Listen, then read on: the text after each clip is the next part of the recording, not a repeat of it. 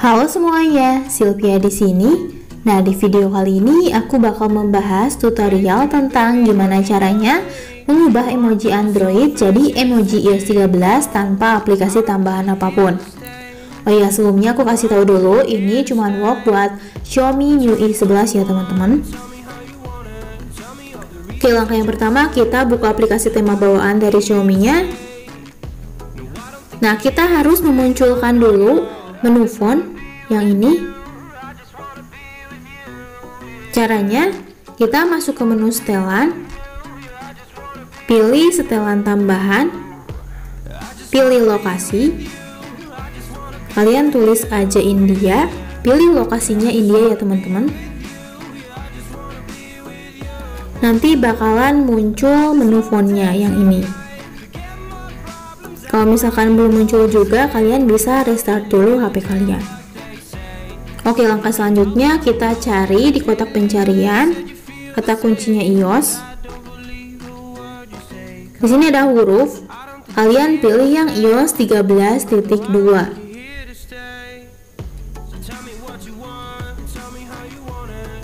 Nah, ini dia.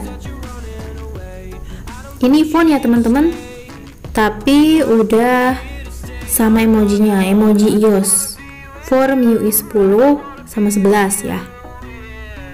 Kalian tap gratis aja buat download fontnya. Kalau udah langsung tap terapkan aja ya. Di sini kalian tap mulai ulang buat restart HP kalian. Oh ya aku kasih tau dulu ya. Aku sekarang masih pakai emoji yang biasa seperti ini.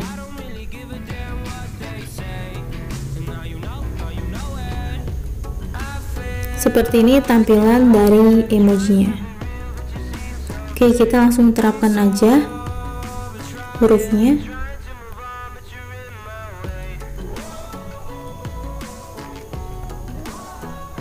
iOS 13.2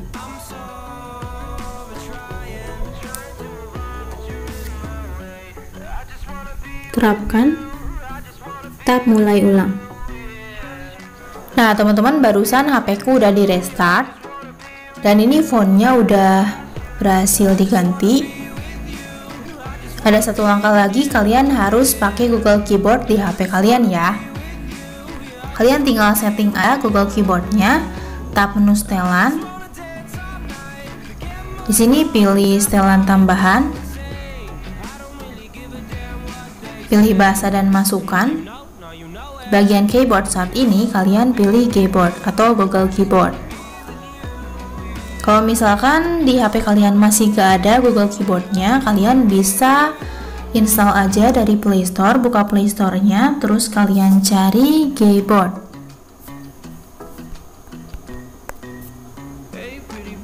Nah, terus install aja aplikasi keyboardnya. Oke, sekarang kita coba cek aja emojinya udah berubah atau belum. Dan tada, sekarang emojiku udah berubah jadi emoji iOS 13.2. Seperti ini tampilannya.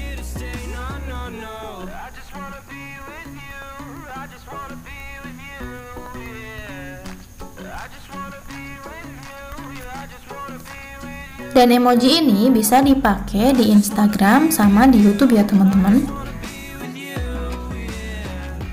Nah, karena tutorialnya udah berhasil, jadi kayaknya sampai sini dulu aja video tutorialku hari ini. Sampai jumpa di video selanjutnya.